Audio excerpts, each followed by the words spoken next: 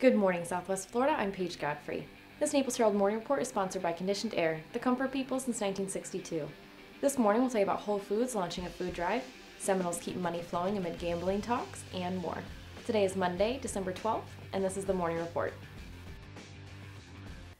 Expected to be signed into law by President Obama next week, the final version of the Water Resources Development Act is inclusive of the Central Everglades Planning Project. This final version retains critical components providing for restoration of the Everglades and over Florida waterways. In the holiday spirit, the Whole Foods Market Naples has launched a food drive to assist St. Matthew's House, an organization that provides housing for the homeless and food for the needy.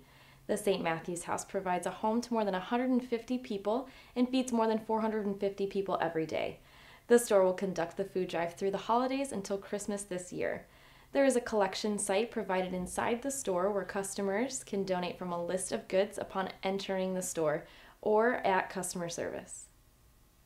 After meeting this week with Governor Rick Scott's administration to try to reach a gambling agreement, the Seminole Tribe of Florida said Thursday it continues to make payments to the state that will total $306 million this year.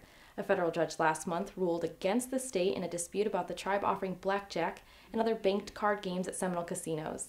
That dispute stemmed from the expiration last year of part of a gambling agreement known as a compact that the tribe and the state signed in 2010. And that was the morning report for today. I'm Paige Godfrey. The morning report airs Monday through Friday at 8 a.m. right here at naplesherald.com. And don't forget to check out our lunch break that also airs Monday through Friday at 12 p.m. Thank you for watching.